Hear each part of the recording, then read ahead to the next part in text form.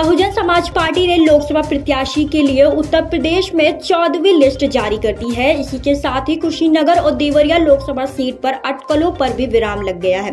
Baspa supremo Mayawati ने Kushinagar Lok Sabha seat से शुभ नारायण चौहान और देवरिया लोकसभा सीट से संदेश यादव और मिस्टर पर दाव लगाया है। बसपा द्वारा जारी की गई इस लिस्ट के बाद स्वामी प्रसाद मौर्य को तगड़ा झटका लगा है। दरअसल स्वामी प्रसाद मौर्य ने कुशीनगर लोकसभा सीट से चुनाव लड़ने के लिए ऐलान किया था और बीएसपी के साथ जाने की अटकलें लगाई जा रही थी। लेकिन मायावती ने कुशीनगर सीट उम्मीदवार की घोषणा कर सभी अटकलों पर विराम लगा दिया है।